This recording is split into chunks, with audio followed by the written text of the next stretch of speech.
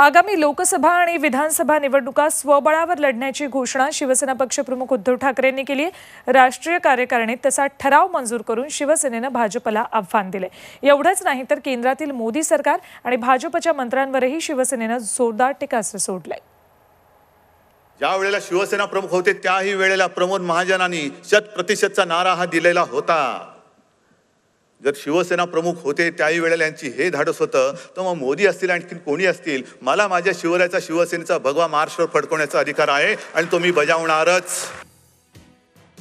शिवसेनेचा भगवा स्वबळावर महाराष्ट्रावर फडकवणारच. ही गर्जना केली आहे उद्धव ठाकरे यांनी.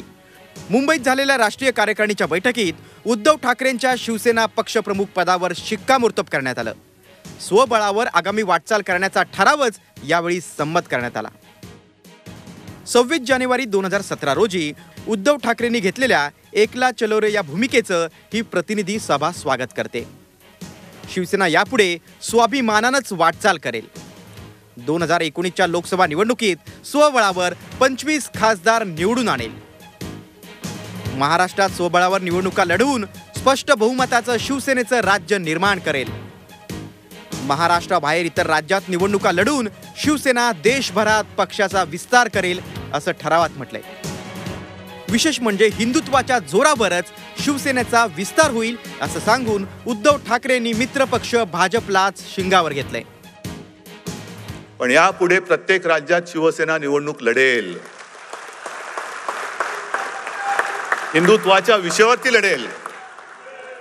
मत पडतील पडणार नाही जिंकू हारू. पण आम्ही आमचा विचार सोडणार नाही जिंकलो तरी आणि हरलो तरी आम्ही हिंदुत्वाला अंतर देणार नाही. सत्तेत सहभागी असतानाही नरेंद्र मोदी आणि देवेंद्र फडणवीस सरकारवर तोंडसूप घेण्याचा पवित्रा शिवसेनेनं कायम ठेवलाय. स्वतःच सरकार खाली खेचण्याचं अजब आवाहन त्यांनी केलं.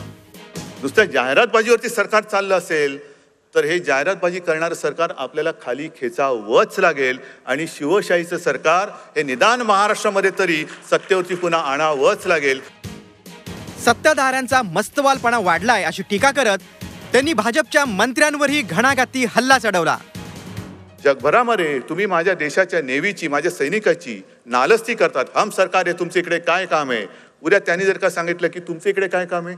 तुम्ही जा तुमच्या घरामध्ये बसा. हा जो काय मस्तवालपणा या राज्यकर्त्यांच्या डोक्यामध्ये घुसलेला आणि मला चंद्रकांत पाटलांनी तेच सांगायचे. तुमची लॉटरी लागली अमित शहामुळे. जर तुम्हाला कानडी मातेच्या पोटी जन्माला यायचं असेल ना तर आत्ताच तिकडे दत्तक जा. आची माणसं महाराष्ट्रात राहण्यापेक्षा कर्नाटकात गेलेली बरी तिकडे जा आणि कर्नाटक. शिवसेना प्रमुख बाळासाहेब ठाकरे यांच्या जयंती दिनाचं औचित्य साधून शिवसेनेनं हे नवं राजकीय धोरण स्वीकारलंय. पण बाळासाहेब असते तर एकीकडे सरकारमध्ये मांडीला मांडी लावून बसायचं आणि दुसरीकडे त्या सरकारच्या कारभारावर दुगण्या धाडत स्वबळाची भाषा करायची अशी दुटप्पी कसरत करायची वेळ शिवसेनेवर आली असती का? हा खरा सवाल आहे. Bureau report Zee media Mumbai. Zee चोवीस तास. रहा एक पाऊल पुढे.